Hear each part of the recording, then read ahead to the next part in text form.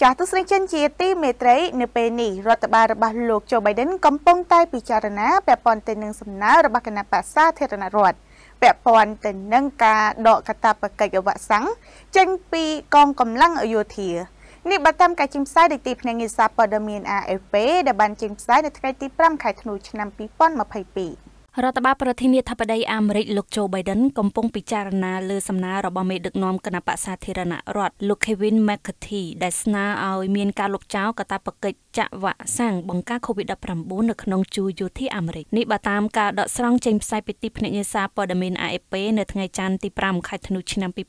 2022លោក Kevin McCarthy ដែលត្រូវបានគេរំពឹងថានឹងក្លាយជាប្រធានសភាតំណាងរាស្ត្រអាមេរិកនៃគណៈបក្សសាធារណរដ្ឋនៅឆ្នាំ2023ខាងមុខបានប្រាប់ទូរទស្សន៍ Fox News ថាលោកទទួលបានការយល់ព្រមពីថ្នាក់ដឹកនាំនៃគណៈបកទាំងពីរដើម្បីលុបចោលកាតព្វកិច្ចវ៉ាក់សាំងនៅក្នុងជំនួបមួយនៅឯសេតវិមានកាលពីពេលថ្មីថ្មីនេះលោកបន្ថែមថាការលុបចោលកាតព្វកិច្ចវ៉ាក់សាំងនេះធ្វើឡើងជាផ្នែកមួយនៃកិច្ចខិតខំប្រឹងប្រែងក្នុងការអនុម័តកញ្ចប់ថវិកាយោធា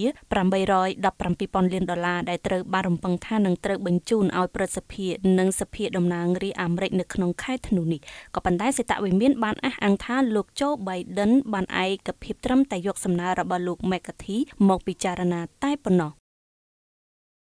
បូរីមេកុងឡែនបង់ប្រចាំខែចាប់ពី400ដុល្លារឡើងទៅបូរីមេកុងឡែនផ្ដើមជីវិតរីករាយនិងជោគជ័យនៅទីនេះ។